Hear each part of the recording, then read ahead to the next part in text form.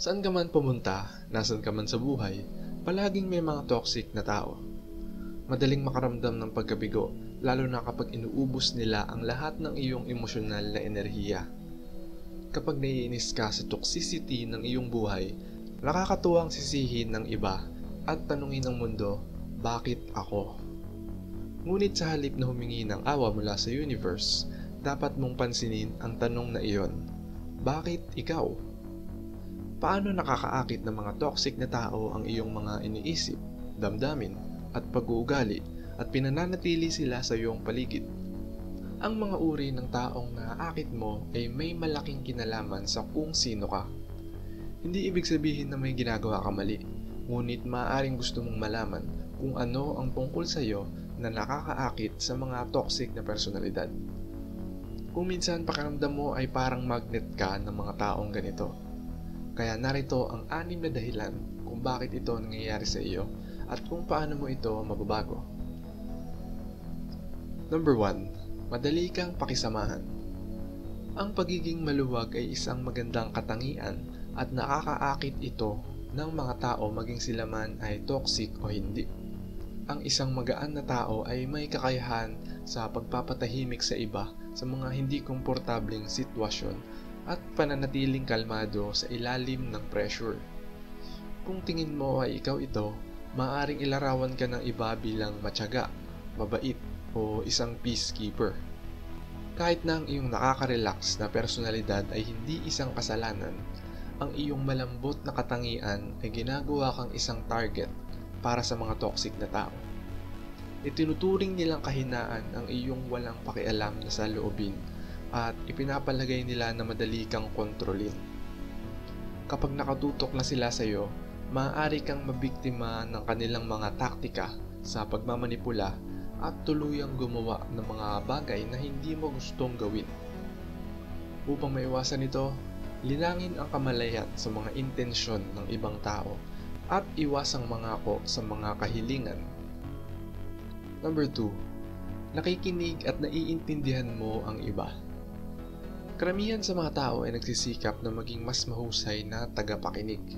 Ngunit ang mabubuting tagapakinig ay kadalasang nakakaakit ng mga taong may problema. Maaari mong makita ang iyong sarili na natigil sa isang panig ng pag-uusap habang ang isang tao ay patuloy na emosyonal na naglalabas sa iyo at hindi pinapansin ang iyong oras. Kung ikaw ay isang mabuting tagapakinig, ang isang toxic na tao ay hindi magdadalawang isip na ibahagi sa iyo ang kanilang negatibong enerhiya. Maaaring makipag-usap sila ng ilang oras at hindi man lang humingi ng iyong input. Sa kabutihang palad, maaari kang gumawa ng mga bagay upang maiwasan ang pagiging biktima ng isang mapag-usap na bully o narcissistic na personalidad. Halimbawa, kung alam mo kung ano ang iyong pinapasukan, magpasya kung gaano karaming oras ang gusto mong gugulin kasama ang taong iyon bago mo siya makita. Maghanda ng diskarte upang makalabas sa inyong pag-uusap. Limbawa, sasabihin mo na may pupuntahan pa ako eh, kailangan kong umalis. At pagdating ng oras, gamitin mo ito ng may kumpiyansa. Number 3. Masyado kang mapagbigay. Ang pagiging bukas palad ay isang positibong katangian at hindi ka dapat malungkot sa pagiging isang taong mapagbigay. Ibigay mo man ang iyong oras, talento o isang bagay sa ibang tao, magiging magandang huwaran ka para sa iba. Ngunit makakaakit ka rin ng ilang toxic na tao. Lalo na kung ikaw ay nagbigay ng malaya nang hindi iniisip ang iyong mga hangganan. Ang mga mapang-abusong tao ay dumadagsa sa pagkabukas palad mo, tulad ng isang gamo-gamo sa isang apoy. Alam nila na bibigyan mo sila ng atensyon at emosyonal na enerhiya na gusto nila at maaari mo pa rin matugunan ang kanilang mga pangangailangan sa iyong sariling gastos. Ang masamang balita ay kapag mas nagbigay ka, mas hihingi sila. Bigyan mo sila ng isang pulgada, aabot sila ng isang milya. Upang maiwasang mapuno ng sama ng loob at pait, itatag at palakasin ang iyong mga hangganan sa pamamagitan ng madalas na pagsasabi ng no. Number 4. Ikaw ay nagtitiwala at tapat sa iyong mga pangarap. Ang mga taong madamdamin at energetic ay may posibilidad na makaakit ng mga toxic na tao. Iyon ay dahil ang mga toxic na individual ay gustong kaladkarin ka pababa. Ang mga toxic na tao ay madalas na sumusuko sa kanilang mga pangarap dahil sa takot. Kapag nakita ka nilang namumuhay sa parang ninanais at pininiwalaan nilang imposible, hinahanap nila ang kasiyahan at papatunayan nila na makikita ka nilang mabigo. Kung bubuksan mo ang tungkol sa iyong mga ideya at layunin, madidismaya ka nila at masisira ka.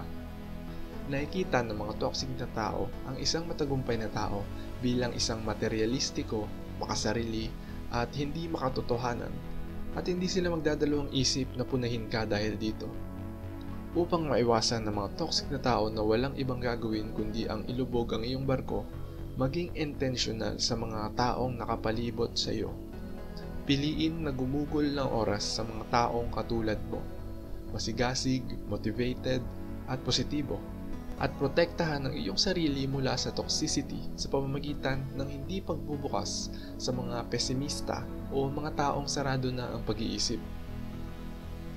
Number 5. Masyadong positibo ang iyong pananaw sa kalikasan ng tao. Karamihan sa mga tao ay maaaring sumang-ayon na ang mga tao sa pangkalahatan ay mabuti, ngunit palaging may isang masamang prutas sa grupo. Ang ilang mga tao gayon paman ay tumatangging tanggapin ang madidilim na katotohanan ng kalikasan ng tao. Naniniwala sila na ang masamang prutas ay maaaring palaging gawing mabuti muli, kahit na ang sitwasyon ay wala ng pag-asa. Kung hindi mo tinatanggap ang mga bagay tulad ng panlilinlang, kasakiman at pagmamayari para sa kung ano sila, malamang na pinanghahawakan mo ang hindi malusog na pagkakaibigan o relasyon na umaasa sa pagbabago. At malaki ang posibilidad na hindi mo pinapansin ang mga red flags tulad ng mga insulto at patuloy na gumugugol ng oras sa kanila. Kung tingin mo ikaw yon, mataas ang iyong tolerance para sa toxicity Malamang na marami kang nasanay sa pagtitiis ng mapang-abusong pag-uugali marahil dahil hindi mo alam kung ano ang nangyayari. Ang iyong pagiging positibo ay maaaring maglagay sa iyo sa panganib dahil madalas nitong pinuputol ang mga negative emotion tulad ng anxiety at pagtatanim ng galit. Huwag maghintay hanggang ang sitwasyon ay maging malala. Sa halip, gamitin ang kapangyarihan ng iyong intuition makakatulong ito sa iyo na mahulaan ang panganib. Manatiling maging optimistic, ngunit maging realistic din. At number 6, meron kang emotional baggage.